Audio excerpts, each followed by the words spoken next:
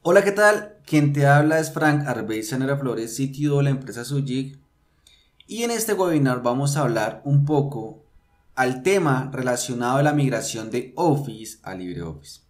Cabe resaltar que Sujig cuenta con una experiencia en migración de estaciones de trabajo, más de mil estaciones de trabajo, en centros de contacto principalmente, en donde se migró soluciones de Office 2003, 2007 y 2010 a LibreOffice 3, 4 y 5 correspondientemente. En este webinar vamos a hablar y vamos a enfocarnos en la migración de Office a LibreOffice. Cabe resaltar que este pequeño o esa pequeña guía que vamos a tratar a continuación puede ser aplicable para futuro, ¿vale? En Office 2010 o 2013 migrar a LibreOffice 7, qué sé yo, el 2016 migrarlo a LibreOffice 7, lo que sea.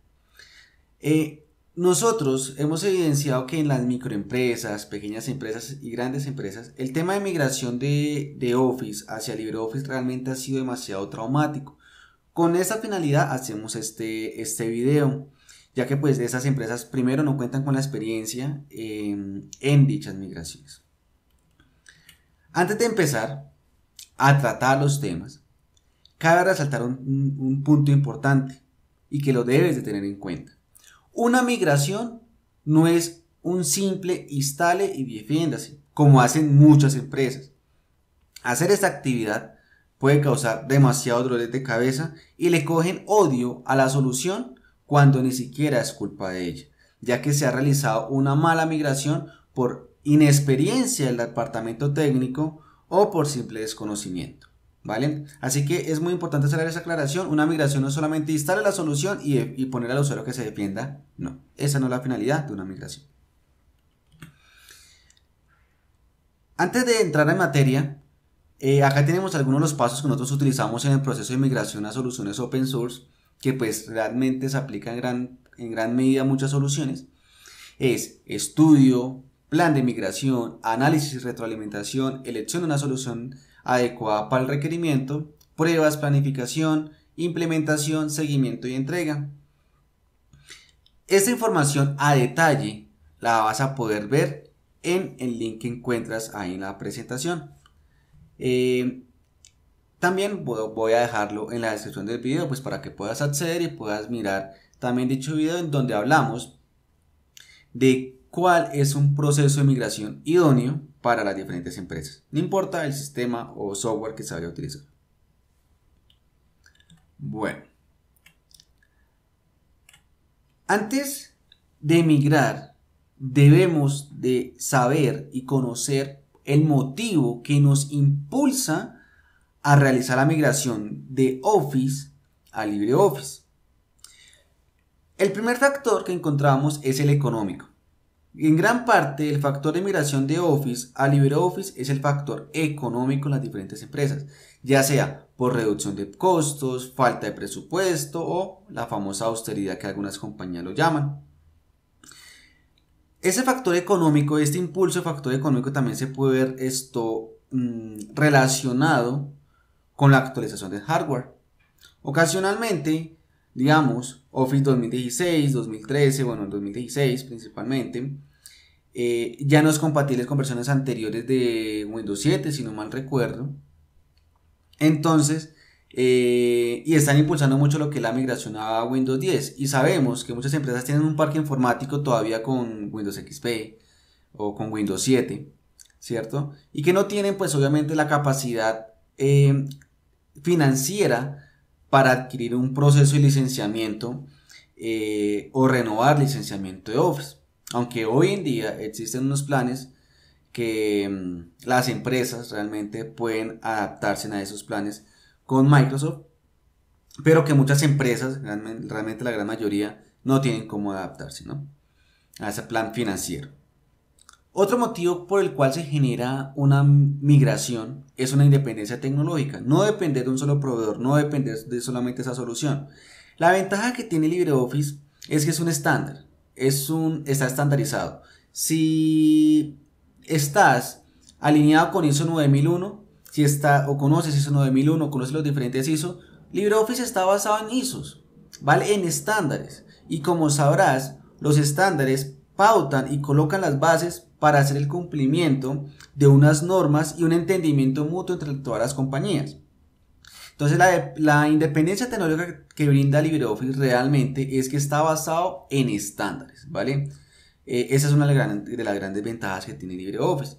Y en independencia tecnológica, al ser un estándar, cualquier persona te puede brindar soporte, cualquier empresa reconocida que tenga conocimientos en la solución puede brindar soporte.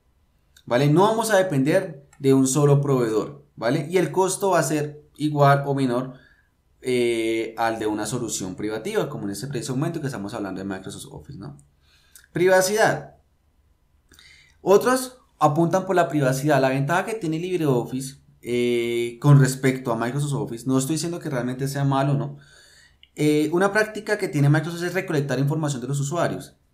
No es malo realmente porque ellos lo hacen con la finalidad de mejorar su producto.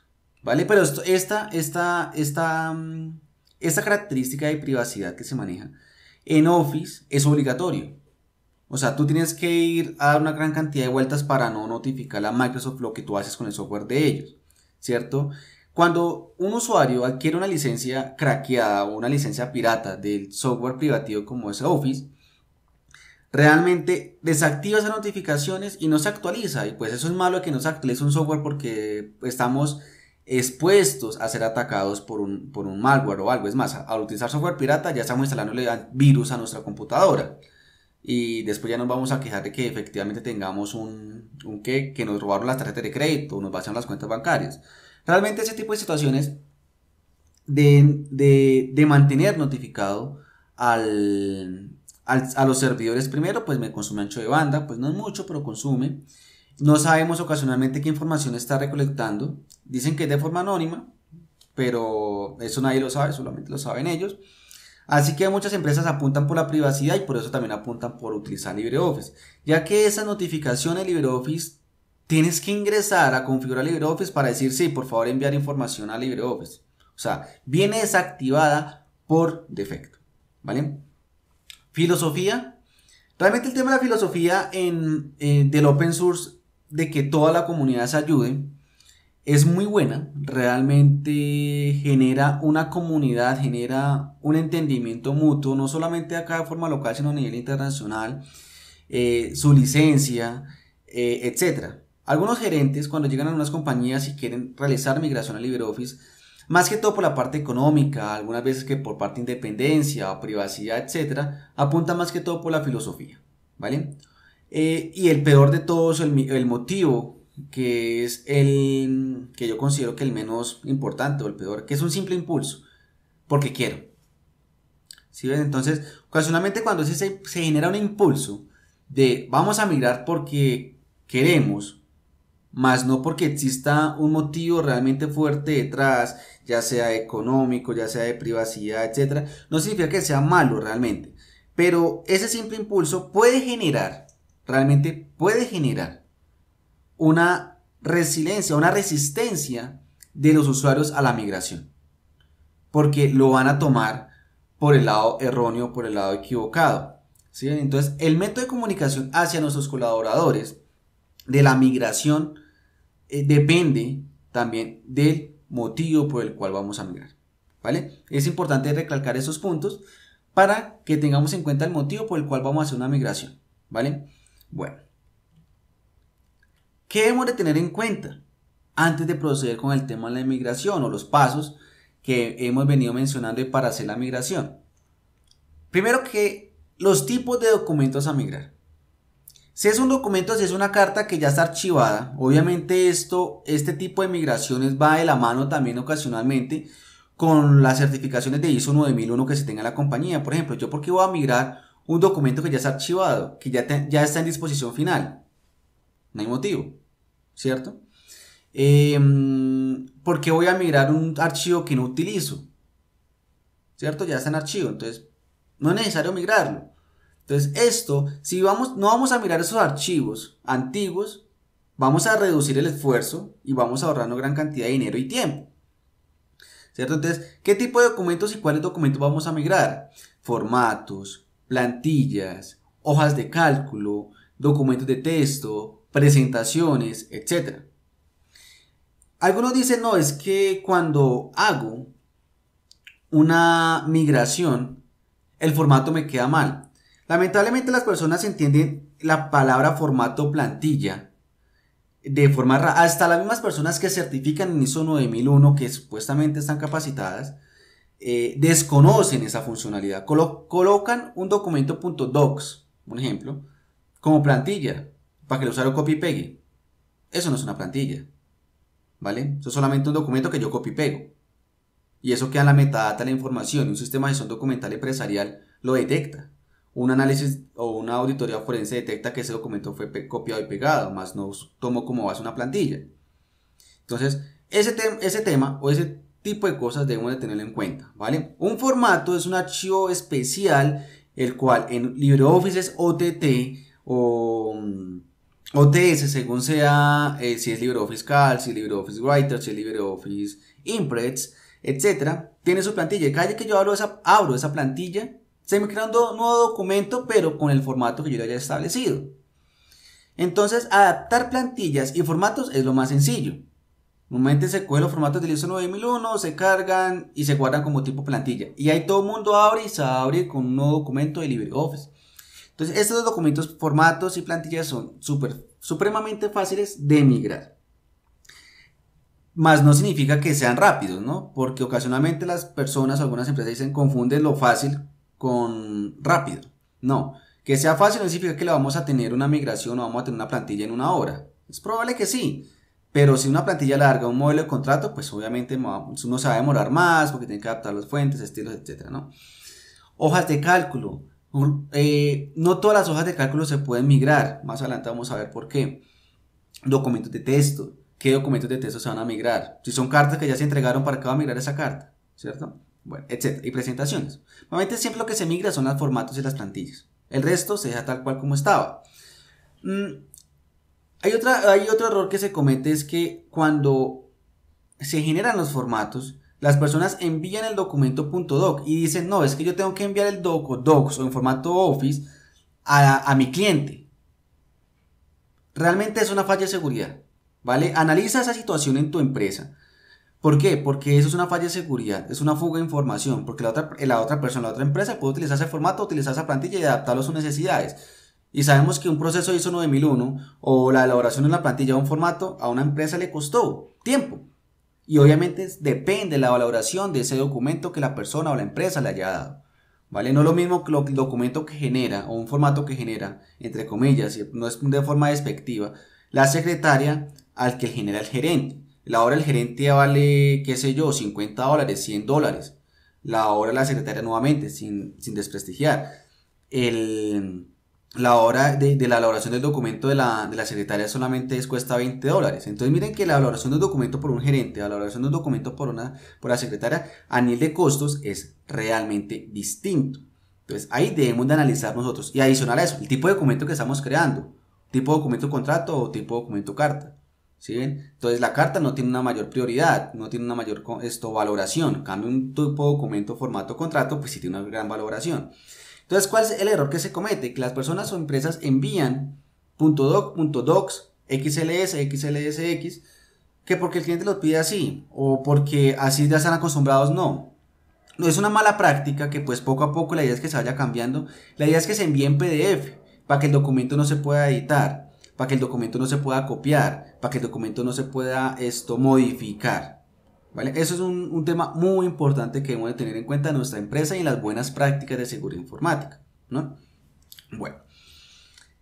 ¿Qué otra cosa debemos de tener en cuenta? El segundo punto es el contenido de los documentos, los detalles técnicos. Ya no vamos a detalles técnicos del documento. Cómo está armado, tablas, imágenes, qué tipo de tablas está manejando, el tipo de fuente. Por ejemplo, hoy en día Office 2010, 2010 2017, 2007, 2016, 2013, etcétera, los Office que sean, utilizan fuente Calibri, que no es una fuente abierta. Aunque esto mm, Microsoft dice que no se puede utilizar esa fuente a menos que venga con el paquete ofimático. Muchas veces las empresas por poder abrir un documento que le enviaron en .doc, nuevamente la mala práctica o algo, un documento que le enviaron en .doc o .doc, etcétera, tiene esa fuente incrustada ¿qué debemos de hacer? Descargar la fuente e instalarla, ¿cierto? Si nosotros tenemos, eh, no vamos a hablar de que vamos a migrar un sistema operativo, no, vamos a migrar solamente el paquete ofimático y por detrás sigue siendo el mismo Windows, ¿vale? Es muy probable que tu instalación de Windows ya venga con la, con la fuente Calibre, entonces no es necesario esto, instalarla, porque LibreOffice la detecta y la muestra, ¿vale? Es importante tenerlo en cuenta ese tema la fuente, porque uno de los grandes o uno de los mayores motivos por los cuales se presenta eh, inconsistencia en visualizar un documento de Office en LibreOffice es por la misma fuente. Entonces debemos de tener la fuente eh, instalada para poder visualizar adecuadamente los documentos. ¿Qué macros? Los macros es una mala práctica, en su momento fue realmente muy buena práctica. Hoy en día realmente yo lo veo, nosotros lo vemos como una práctica, porque ya existen las tecnologías de la información en la nube, en donde el análisis de datos se hace de forma automática con los diferentes tipos de herramientas, etc. Pues entendemos que algunas empresas no pueden darse en ese lujo, pero desarrollar una macro eh, genera ocasionalmente un retraso de la compañía. ¿Por qué? Porque con un documento de Excel, un documento, una hoja de cálculo, trabajando con una macro, primero lo hace mucho más pesado, se requiere un computador mucho más potente. Segundo, esto, como no es un lenguaje estandarizado, no es un lenguaje de, de programación estandarizado como tal, entonces es probable que no se entienda muy bien con otros, con otros software. ¿Cierto? Entonces lo que nosotros recomendamos, ¿utilizas macros? Ok, no hay problema. Pero busquemos la manera de hacer esa migración de ese formato a una aplicación en línea. ¿Cierto? Hoy en día casi todo se puede hacer en línea. ¿Vale? El tema de las macros es un tema delicado. Puede ser que en su empresa ya lo tengan instalado o ya, ya estén utilizando macros. En lo probable, migrar en línea, si no se puede, utilicen formatos. En la gran mayoría de ocasiones, cuando hacemos muchas migraciones, las macros no son necesarias. Las macros son una mala práctica que pronto se utilizó por la persona que hizo esa, esa plantilla, pero por eso se llaman plantillas. Yo puedo programar todo, puedo alinear todo, digamos, en una hoja de cálculo, yo puedo alinear todo a un formato, a una plantilla. ¿Vale? Que cuando cargue una, base de datos, cuando cargue una, un, una sabana de datos, que a veces le llaman, automáticamente haga el análisis de datos de esa sabana de datos y ya yo no tenga que hacer más nada, ¿no? Entonces, son temas que nosotros debemos de tener en cuenta, analizar, etc. ¿Vale? Tenga en cuenta o ten en cuenta de que no siempre se va a migrar, no, siempre se va a poder migrar. Más adelante vamos a explicar ese punto, ¿vale? Áreas y departamentos. ¿Qué áreas, qué funciones cumplen, cómo utilizan el software ofimático? ¿Listo? Debemos analizar eso a profundidad. Capacidad operativa o personal técnico para realizar la migración. ¿Qué capacidad operativa yo tengo para realizar esa migración? Son 100, 200, 300 posiciones de trabajo que voy a migrar y solamente tengo un técnico para atender aparte los soportes normales y aparte eso un soporte adicional. Entonces ocasionalmente eh, sale el, el, tema de que un solo técnico empieza a hacer la migración. Y ese es uno de los peores errores. ¿Por qué? Porque ese técnico tiene que hacer de todo y adicional tiene que empezar la migración y el costo, costo-beneficio realmente no se va a ver.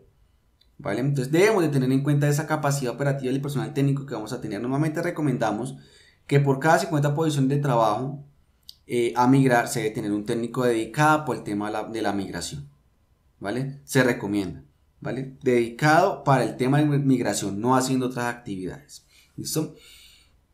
¿Qué requerimientos tiene LibreOffice? Mínimo una giga de RAM. No que el computador tenga una giga de RAM y lo comparta con el sistema operativo, ¿no? Y con otras aplicaciones, no. Una giga de RAM dedicada para LibreOffice. Más que todo esa giga de RAM lo presentamos cuando abrimos hojas de cálculo con bases de datos pesadas de un millón de registros. Un ejemplo. Entonces ahí tenemos una giga de RAM para solamente LibreOffice. Si no tenemos esas hojas de cálculo, 512 de RAM está más que suficiente. ¿Vale? Un procesador mínimo de dos núcleos. ¿Listo? Eh, un Windows 10, 7, XP, 8, 8.1, que quieras, te va a funcionar LibreOffice, ¿vale? No hay ningún tipo de inconveniente. Así que debemos de tener en cuenta eso. Ahora sí, ya hemos recolectado la información, ya hemos hecho todas las actividades correspondientes, ya hemos, nos hemos capacitado. Vamos adelante, vamos a ver este tema. Nunca debemos de instalar la versión de desarrollo pruebas. ¿Vale? Acá tenemos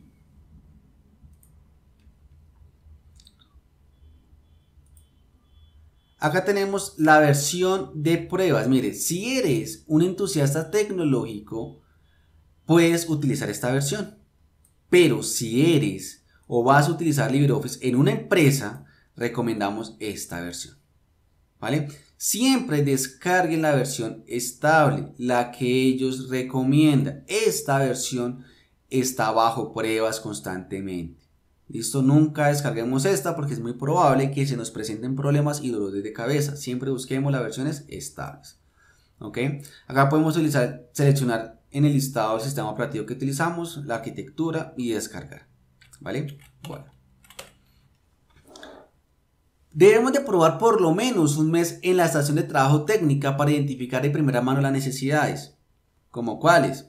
Interfaz gráfica, si nos interesa adaptar la interfaz gráfica, Em, mirar los documentos que, que vamos a migrar, qué tienen de características especiales y qué vamos a migrar o qué podemos migrar o adaptar, ¿cierto? Entonces, probar por lo, por lo menos durante un mes la solución en una estación de trabajo, ¿vale? Un técnico, una persona que trabaje con mucho Office, etcétera, probarlo, una, ¿listo? Armar un plan de capacitación para todo el personal involucrado, para toda la empresa. Nosotros como vimos en la, en la diapositiva, en las primeras diapositivas, no podemos llegar a instalar y defiéndase, no. Debemos de armar un plan de capacitación para todo el personal involucrado. Existen muchos cursos en línea, existen profesionales en capacidad de brindar ese tipo de capacitaciones para que el personal cuando se enfrente a la solución ya esté por lo menos un poco familiarizado y no esté de forma ciega. Si tú vas a migrar de Office 2007 a Office 2016, vas a tener que capacitarte. Vayan a decir, no, es que es fácil de pasar de Office, de Office a Office. No. De Office 2017 a 2016 cambia notablemente. 2010, 2007 sí, a 2016, 2010 a 2016. Cambia notablemente la interfaz. Hay unas nuevas funcionalidades. La persona debe de capacitarse. Si no, va a desaprovechar las la herramienta, va a inutilizarlas. Como por ejemplo, yo para qué voy a tener una tractomula cuando solamente voy a ir a la tienda. Voy a subutilizar la herramienta, así que debo de saber, debo de capacitarme. Toda solución debemos de capacitarlo. Que esté familiarizado no significa que sepa. Yo estoy familiarizado, de pronto, estoy familiarizado con Bogotá, desde donde actualmente resido. Estoy familiarizado con el ambiente, estoy familiarizado con la ruta, estoy familiarizado, etc. Pero que yo conozca a Bogotá, no. ¿Vale? Entonces yo no aprovecho, no saco al máximo el potencial de la ciudad. Entonces es un ejemplo como tal. Entonces debemos de capacitarnos, no importa la solución que sea. ¿Listo? Iniciemos con las posiciones de trabajo no críticas, como cuáles, recepción, auxiliares, secretarias, eh, departamento técnico, realmente es uno de los más los, primeros que se migran son el departamento de tecnología, normalmente. Eh, esas posiciones de trabajo no críticas. ¿Por qué? Porque van a ser las más fáciles de brindar soporte nivel 1, de identificar más rápido las fallas. Contaré que cuando lleguemos a las posiciones mayores, ya hayamos identificado y hayamos corregido esos errores. ¿Listo? Instalemos de forma paralela al Office, instalemos el LibreOffice. O sea, vamos a tener instalado Office y vamos a tener instalado LibreOffice al mismo tiempo.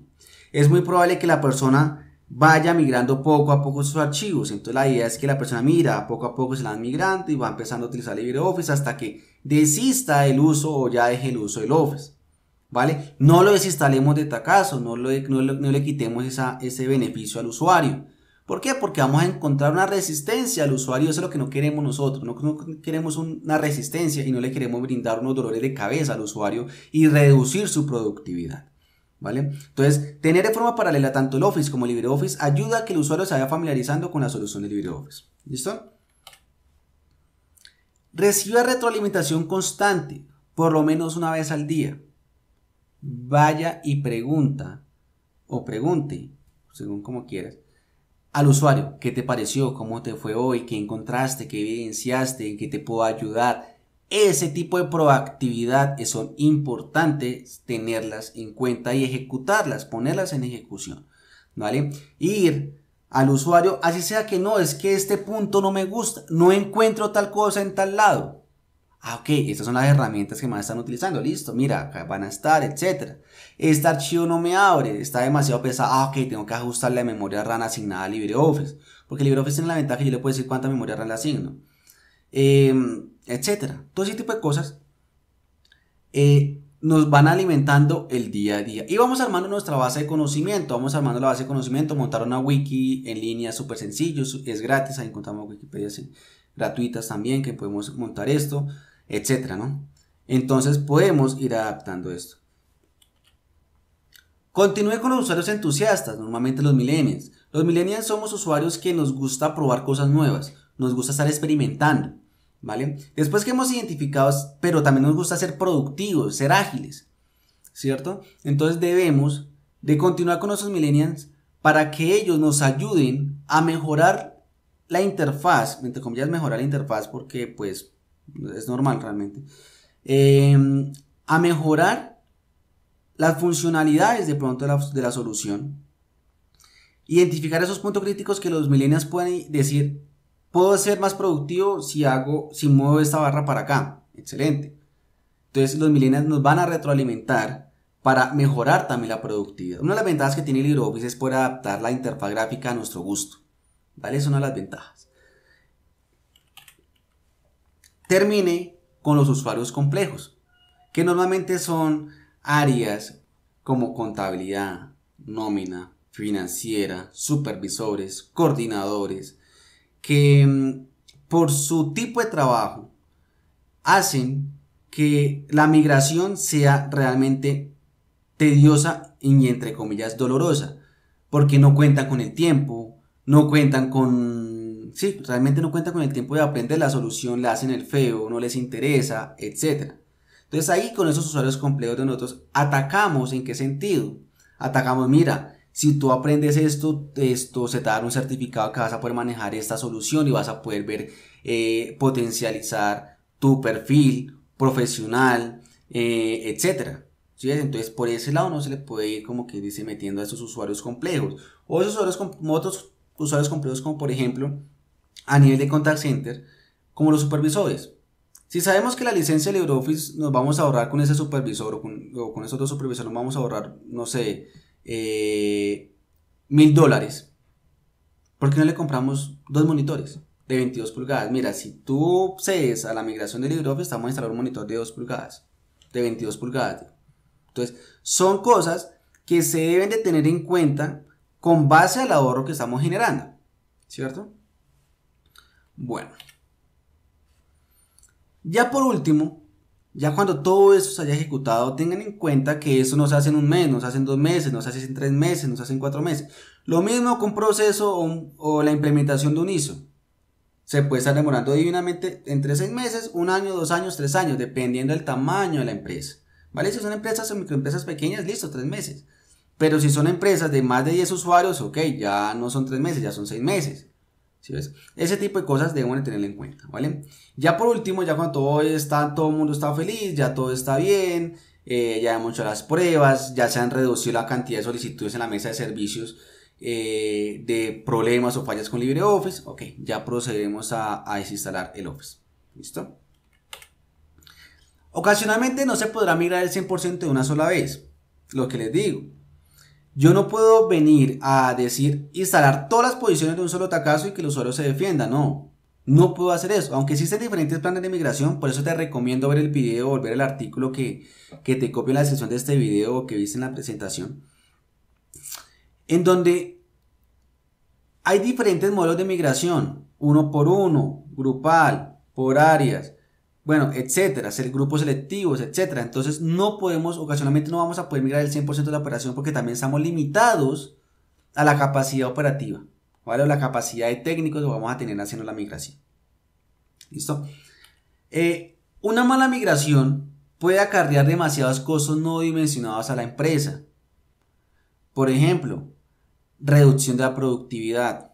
Si hacemos una mala migración, no capacitamos al personal, no le prestamos la suficiente atención, tenlo por seguro que la productividad de la compañía va, a ver reducida notoriamente y pues obviamente eso va a afectar económicamente a la compañía. Y lamentablemente las empresas le echan la culpa a la solución cuando realmente se sigue un mal procedimiento, ¿cierto? Entonces, eh, esos costos, que no, esos costos ocultos que ocasionalmente no tenemos en cuenta en el proceso de migración, nos va a pasar factura al finalizar el proceso o durante el proceso de migración. Cabe resaltar que si se hace adecuadamente este proceso de migración, la compañía va a tener realmente unos grandes ingresos por reducción de costos de licenciamiento. Si se hace una buena migración, eh, esta, que eh, el retorno de la inversión se abre en 5 años o hasta menos en un año. Se puede ver hasta el retorno de inversión en un año, ¿cierto? Si instalamos 200 posiciones de trabajo con Office, no sé, pueden ser dignamente, qué sé yo, colocamos un monto, 10 mil dólares, de 200 posiciones de trabajo a LibreOffice, mmm, qué sé yo, 3 mil, 5 mil dólares. Entonces vemos una reducción del 50% y vamos a hacer un retorno de la inversión casi que al año, a, los dos años, ¿no? Bueno, entonces una mala migración puede acarrear demasiados costos no dimensionados a la empresa. Esto, hay que tener en cuenta eso y por eso hay que hacer muy, una muy buena planeación de ese proceso. Bueno, entonces, ya como para dar esto terminado en la, la presentación o este webinar,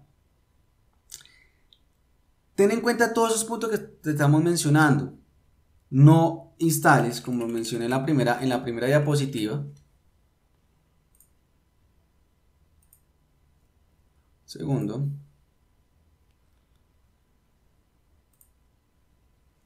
Como te menciono acá, una migración no es instale y defiéndase.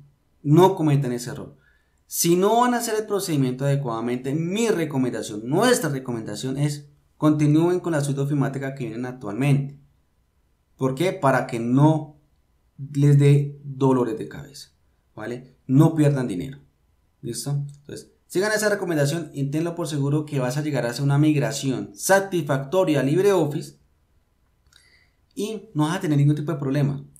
Bueno, ya sabes, recuerda, eh, quien te habló o quien te habla, Fran Arbeza Flores, cualquier duda, pregunta, inquietud, ahí están los contactos. El correo de contacto de Sujit, en donde les podemos colaborar en el proceso de migración o si tienen alguna duda en el proceso de migración, con mucho gusto, sin ningún tipo de compromiso, la asesoría es completamente gratuita para el proceso de migración que ustedes desean realizar. No es más, me despido, nos vemos en una próxima ocasión. Hasta pronto.